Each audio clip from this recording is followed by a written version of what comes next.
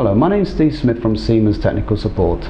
Today we're going to be working with the S7 1200 CPU and the Totally Integrated Automation Portal version 12.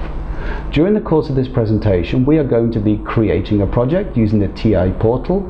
We're going to be deploying an unspecified S7 1200 CPU and we're going to allow the TIA portal to detect the hardware for us. Once we've detected the hardware, we're going to change one or two of the CPU properties, then save, compile and download our project into the CPU. The result being that the CPU will go into run and we will then be ready for further programming. So let's get started. Once the TIA is open, we can create a new project. The project that we're going to do today is for a mixer. The author is myself, Stephen Smith.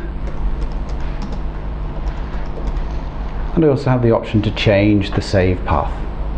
I'm finished, I create. A few seconds later, the project will be created and will be in Portal View. I now go to Device and Networks and I want to add a new device. The device that I'm going to add is the Mixer CPU. So I'm going to call it Mixer CPU. I then click on Controllers and I select the SIMATIC S7 1200 palette. I then expand and select an unspecified S7 1200. When I'm finished, I click Add. A few seconds later, the placeholder for the unspecified 1200 series CPU will appear and I then have the option to either detect or use the hardware catalog. I'm going to use detect and I click on detect. When the detection is completed, the white unspecified CPU will then be populated with the electronic modules and CPU. I'm going to make a few adjustments to the CPU by double clicking into the hardware configuration. First of all, I need to assign an IP address. So I go to Ethernet addresses and I'm going to assign 192.168.0.1 to this CPU. Also as well, I'm going to enable the system and clock memory bytes.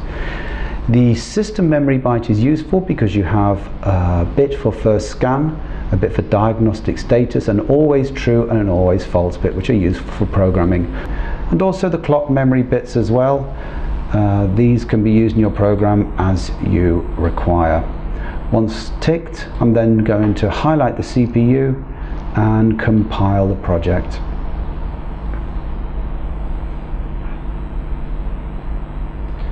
And now I'm going to download the modified hardware configuration into the CPU using the download button.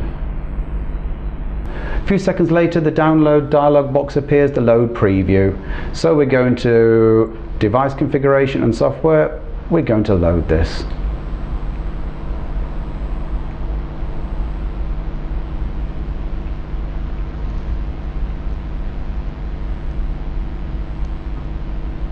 Final part is, do we want the CPU to be started? Yes, we do. And we finish. The result being that the CPU, the hardware configuration has now been loaded, the CPU is in run, and we are now ready to program. Thank you very much for your time.